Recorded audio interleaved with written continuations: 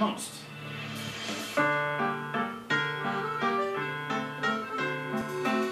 In a city dense with artists, four of them will display their talents in unique forms this week at Roland Garros. Gasquet, Monfils, Simon, and Tsonga, all French, all stylish in their own way, they elevate sport to art form.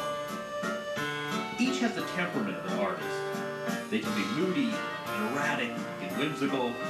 Each has been in the top 10. None has won a major title.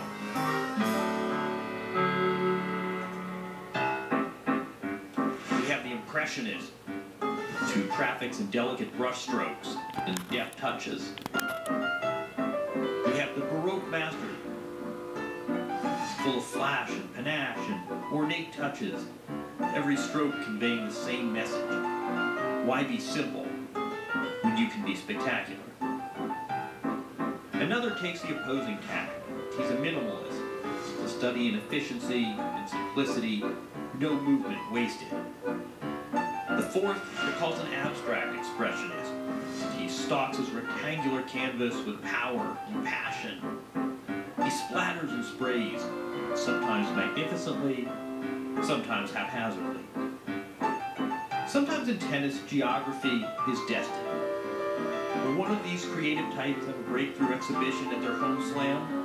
Probably not. Should we, like the critics in a Parisian salon, stand back and marvel at their handiwork? We.